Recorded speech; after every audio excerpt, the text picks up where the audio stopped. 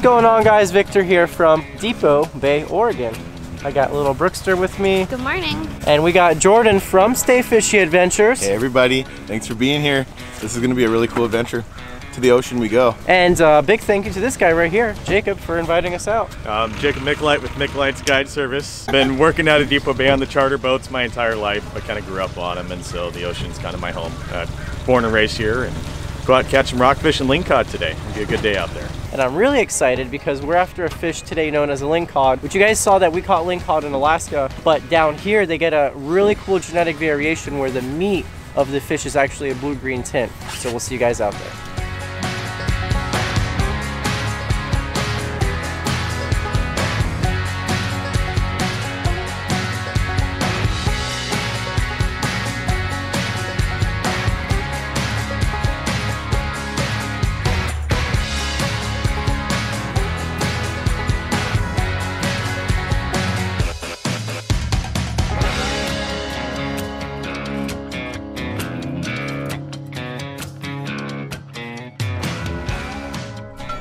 Jordan was actually in Florida, what, like two weeks ago, and you guys were freaking out about the gators? Yeah, everything. I was chasing iguanas barefoot.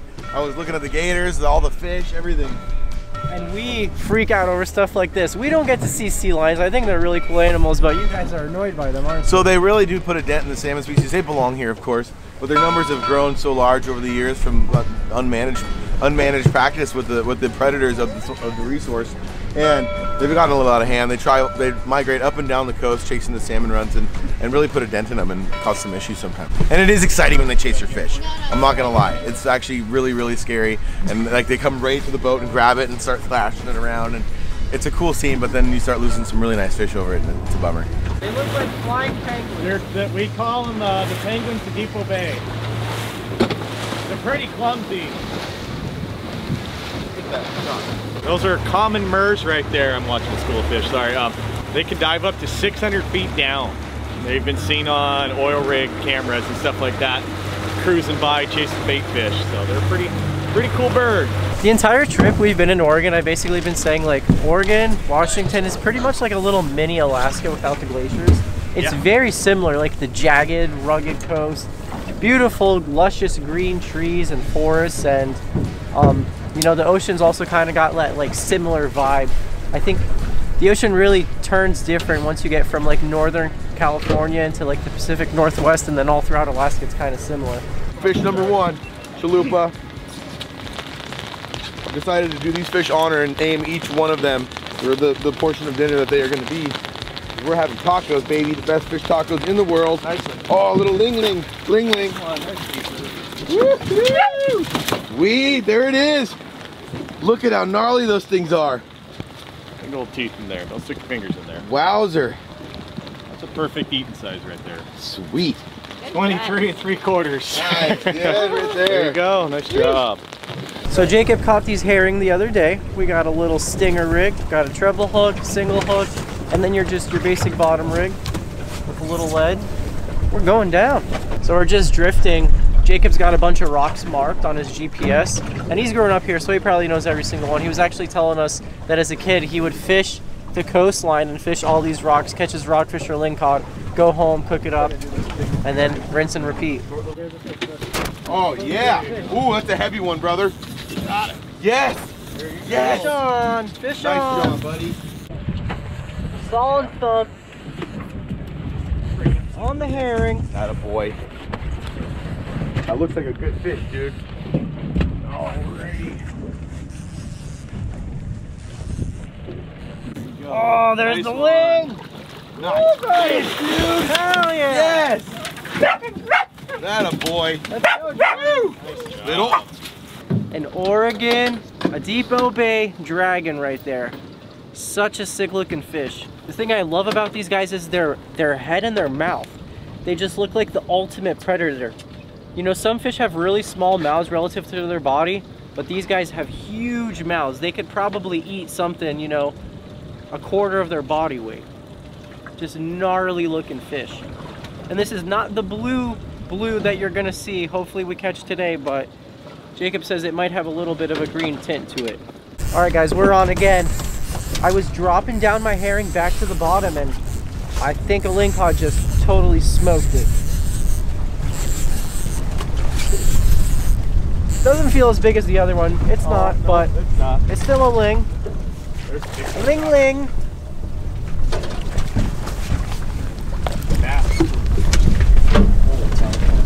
No, watch out, little. These guys are aggressive. That herring's almost as big as he was. Yeah, that's what I'm saying. They got such a big mouth. They can. I when we caught them in Alaska, their bellies were huge and full. I'm telling you, I think these things are voracious. Yeah, dude. Oh, you snagged I told you he swiped at it. So do you think they're trying to kill the bait? Yeah. They're just going and hitting it and doing whatever? That one might have been. He's too small, but Yeah. you can actually snag him, you can spear him, you can net him, do whatever you want in Oregon to Oh, keep him. If this was a keeper, we could have kept him. Yeah. He's too small, so Bye. back he goes. We just moved in a little bit closer to the coast. We're gonna cast along this shoreline, and uh, I'm switching. This is a little soft plastic. It's got a little paddle tail on it, and I'm just gonna bounce it right off the bottom. That's what Jordan's been having a lot of success with.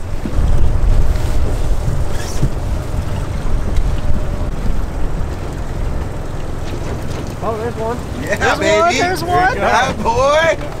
Yeah. On the swim bait, and you guys know how much I freak out over a jig bite. Probably Yep. Oh, nice Oh, rockfish. nice. Black rockfish. Nice one. I've never caught one of those before. I don't think. Is that a black rock? Yep, this is a black rockfish. That is such a beautiful one, dude. He's got Some- really, really pretty patterns on him. We've had black rockfish in the last. We have, but I don't remember them being that light, were they? They were really dark. Yep, oh, it just depends on where they're at. But yeah, that's a That is- typical Oregon Coast black rockfish. That's the most common rockfish on the coast. So Jordan's got one on behind us, but this is basically the Pacific Ocean's version of a snapper or grouper. Um, we have, you know, you guys see we have mutton snapper, yellowtail snapper. They have things called rockfish, which are these guys right here. We've made a couple videos last year in Alaska and California. There's a lot of different species of these guys, and these are one of the slowest growing fish in the ocean. There's a lot of different patterns on them, and they get really big. You know, they'll get upwards of 30 pounds. Uh, we caught some crazy licking orange ones in Alaska, but this guy is absolutely beautiful as well. This is our fourth day in the Northwest. Beautiful, but man, these people, you guys are savages. This I is. I can't this tell is- half the time whether he's mad at me or if he's just uncomfortable. and I think it's just he's uncomfortable. Because deep down we've had a really fun trip so far. Uh, it's been awesome having him, but I'm not gonna joke. I'd rather be in Florida too. You guys comment all the time. I'm from Michigan, I'm from Oregon, I'm from New York, and I mean, we are really blessed to live in Florida. I want to thank you guys for watching the videos because I know a lot of you guys, this is what keeps you going through the winter when your fishing seasons. You know, a lot of you can't fish in the winter. These guys fish all winter long. They're crazy. They fish for steelhead and all sorts of other stuff, but yeah. This is this is some rugged stuff out here. Thirsty. Oh, As you guys see, the weather kind of turned sour on us and waves picked up a little bit. And you know what? Jacob said something good. We don't need to come home with a bunch of fish. We got enough for dinner. That's all that matters. I think we got enough for some fish tacos, right? I think so, and we're gonna be able to quarter ourselves. We got like the proper amount to eat it all fresh. I hate putting fish in the freezer, and especially fish of this quality. So this will be a really good night. So you guys can go ahead and check out Jordan's adventure on his channel. Stay fishy. We're all a very bit cold. Inlet or wherever you call it. You guys called it an outlet, but this is such a cool little town. It's just this little coastal town called Depoe Bay. And you got all these little cliffs right here. Just a very, very scenic place. I know Little's excited to go home. Yeah. I'd say he said yes. We are gonna have Jacob fry these ling cod up. And look at this. These aren't even our knives. I actually completely forgot to bring my Dexters, but you know Jacob only uses the best. He's got himself a seven inch Dexter right there. And you actually grew up filleting a lot of fish, didn't Yeah. you? Did that for a job. A lot of us around here grew up doing filleting fish, cooking crab, and stuff like that for the charters out of here. So, had a few years filleting fish, a little experience.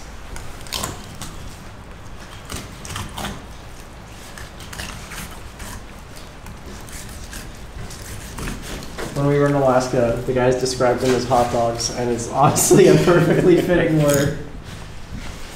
Very we nice. call them uh, the small ones sausage cod. Yeah, those little guys.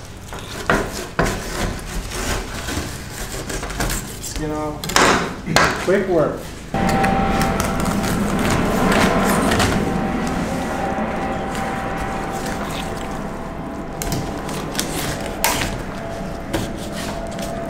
Really are pretty fish.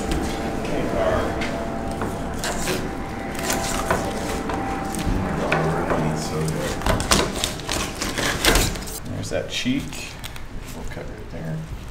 And just peel right off. Very cool. My favorite part. So we didn't get the uh, the blue green ling cod. You say that it's what, like one out of every twenty? Yeah, somewhere in that area. It's a hereditary thing called a. It's a bile pigment called biliverdin that causes them to be that color. And a lot of people want to say it's diet and stuff like that. But what we found it to be is when they're that color, they're that color from when they emerge and pop out of the egg to when they die. So it can't be diet. But um, yeah, it's pretty neat.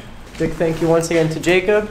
I know we didn't have much fishing footage in this video, but that wasn't because of him. It was just not the nicest weather, and he asked us if we wanted to go in, so we all decided to go in because after three days of freezing our fingertips off, it was about time. And we got plenty of fish to take home to Florida, so if you guys want to check them out, if you're ever in this area, book a charter, Depoe Bay, Oregon. I'll have Jacob's stuff linked below. Yeah, thanks guys. It's fun having you out here. Today is a special day because we got our Butcher Box delivered earlier. Big thank you to Butcher Box for sponsoring today's video. You guys know Brooke and I take our food very seriously. Lots of family dinners. It's one of the great joys of life. And with Butcher Box, we get the highest quality meats delivered right to our door. I'm talking about 100% grass-fed beef, free-range organic chicken, pork raised cage-free, and best of all, wild-caught seafood. You guys still might be wondering, what is Butcher Box? Well, here's how it works. You choose your box and your delivery frequency. You can choose a custom or curated box, and the size of the box is based on your family's needs. ButcherBox ships your order frozen at peak freshness right to your door, and that's it. It's that simple. And right now until May 15th, new members will receive one pound of raw wild-caught Gulf shrimp in every box for an entire year when you sign up today, and that's exactly what we're cooking tonight. This promotion is not gonna last forever, so you gotta act quick. Click the link in the description box below to get free shrimp for year. We've worked with ButcherBox multiple times now, and I can vouch they have great quality meats, and we really enjoy the service. I am super excited to cook up these shrimp for you guys tonight, show you exactly how delicious they are. We're gonna pair them with our ling cod, as you guys see. I got a plethora of stuff here. I told Brooke it's gonna be a simple dinner, but I brought out basically the entire pantry to make some sauces, but we're cooking with ButcherBox shrimp and some ling cod. Let's go. So before we prep the shrimp, we're gonna do a we're gonna do a miso mayo broiled ling cod. In here, I got some miso, some grated ginger. One thing I want you guys to know about these catch and cooks is I don't try to make them complex. I try to explain everything with as much detail as possible and to try to get people to realize that cooking is a lot easier than it is. I know you guys have seen over the years, I've really thrown myself in the kitchen and it's just learning little bits of information over the long period of time, just like with any craft, and you just learn upon it and you get better and you can, can make great meals for your friends, for your family, for your girlfriend, fiance, whatever it is. And you can share that passion with people. So I'm gonna explain the sauce to you and why I'm doing what I'm doing. In here is the grated ginger. Grated ginger is very fresh. It's got an aromatic taste. Um, miso has got that umami flavor. It's a real rich, savory, super strong taste. These two kind of balance each other out. Mayo is gonna be the fat of our choice. Anytime you cook any protein, whether it's fish, chicken, shrimp, you gotta have some kind of fat, prevents sticking, it adds flavor. This is a really lean protein. So we're gonna go in. This is a little homemade spicy mayo. If you don't wanna make it homemade, they sell spicy mayo at the store. But basically all it is is uh, sriracha, lime juice, sesame oil, and mayo. Okay, we're gonna do about that much. I just want enough to coat the top of my fish. So we got a fat in there, we got an aromatic, we got something savory, something acidic is gonna kind of balance all that out. So you're thinking lime juice any type of vinegar, any type of citric acid, just a little bit of lime juice in there, okay? No. Oh, rice vinegar. Sorry, this is rice vinegar. I got caught up. Paula Deen wasn't lying when she said a pinch of sugar for everything. Sweetness really brings out other flavors as well. So we're gonna mix this together. Rather than trying to recreate a recipe, I would love for people to know why a recipe is the way it is. And I think that's how you really grow and learn in the kitchen. That's what I try to emulate anytime I look at someone else's recipe is why the things are going in there. Just like with fishing. Why am I tying this knot? Why am I doing this rig, right? Okay, so this is done. I'm gonna take a little silicone brush and put this right on top of our lingcod. We're gonna sprinkle a little gochugaru on there. Think of this as chili paprika. This version is not very spicy either. Adds a really nice color and a really nice kind of smoky, earthy flavor. And now to finish it off, just a little pepper. So you're gonna get flavors from both sides. When you take your fork, you're gonna be able to taste it all the way through. So this is something you really gotta watch. When you broil fish, that's a real high heat. You gotta keep an eye on it.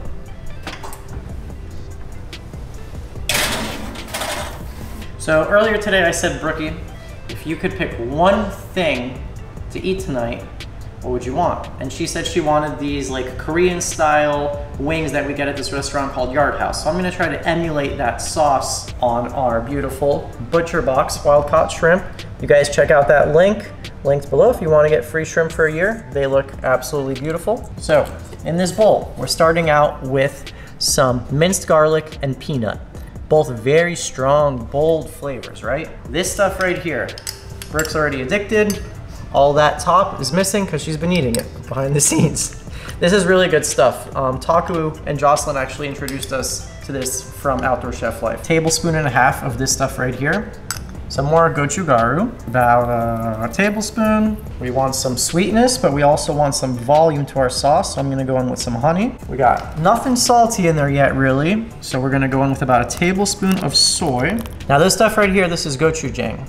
This is very spicy. Me and Brooke are not big, big spicy people. We like a little bit of spice.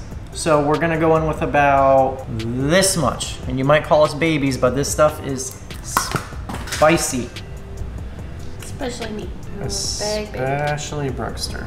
I'll do a little bit more. Here, you can read the label right there. It's like a hot pepper paste. Rice vinegar. We got nothing acidic in there yet, right?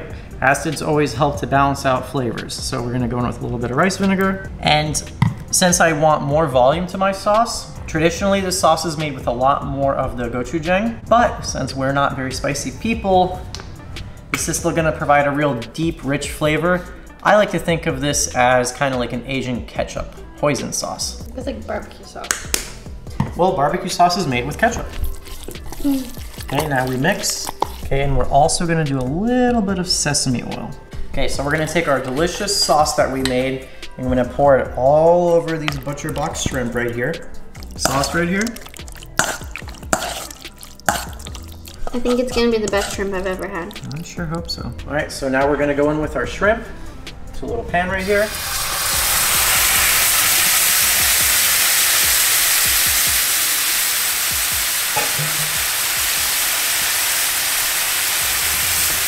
All right, look at that. Oh yeah, baby.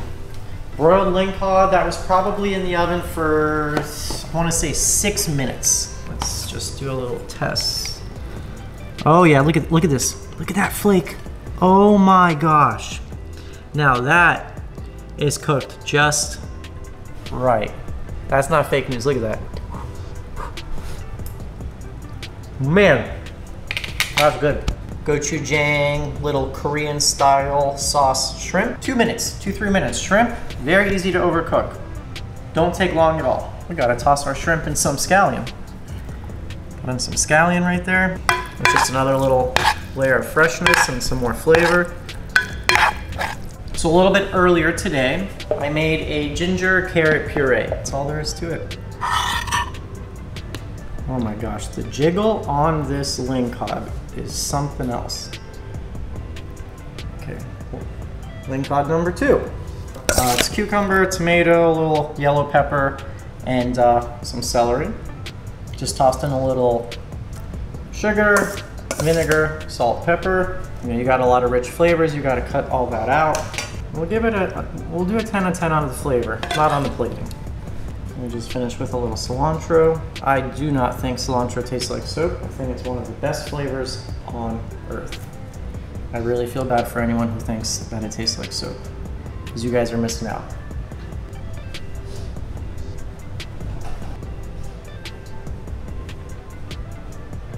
Cheers to my babe. Cheers. If you guys happen to have watched my video from Oregon, we actually lost our GoPro from this day of fishing. And we were trying to recover it and we were asking a bunch of people and Jacob was trying to find it for us and I thought there was no way we were ever getting our GoPro back. We got the GoPro memory card back like what, a week or two later? Someone found it a week later after we got back home from Oregon, shipped it out to us, and we got the footage back in just in time. You guys saw the weather on this trip from Oregon was so bad. A lot of times we can't bring out the good camera. We had to use the GoPro, but everything worked out in the end. The lingcods that we got in Alaska, I don't remember being this flaky. It's very good. I don't really remember them being this flaky either. No, let's try some of these shrimp. Mmm, mmm, mmm. Oh yeah. I said these are gonna be the best shrimp I've ever had. Are they? Spicy, sweet, flavorful. You get crunch from peanut. You get a little scallion in there. Wow, yeah. I think the shrimp also just are really good quality They are really too. good. And didn't even have to peel those um, shells off. No. he asked me what I wanted today for like dinner, and I told him those wings. It's not exactly like it, but it's really close. And honestly, this is way better. Good job. That's Wow. all a man can wish for. So I want to thank you guys so much for watching. Huge shout out to the Addicted crew. They were, those guys are awesome. You guys got to check out their channel linked below. They, I mean, they really showed us a good time. Addicted Fishing, Stay Fishy Adventures linked below. If you guys are ever in the Depoe Bay, Oregon area, check out Jacob's guide service. He's a great guide. Butcher Box Shrimp, don't sleep on this deal. It's not going to be around forever, only until May 15th. After that, they always change up the deals. I don't know what it is, but free shrimp for a year, I think it's a pretty good one. So you guys check out that in the description box below. Two days from now, Bricky and I headed off to California to film some content out there for you guys. Super excited to share it with you. We'll catch you in the next one.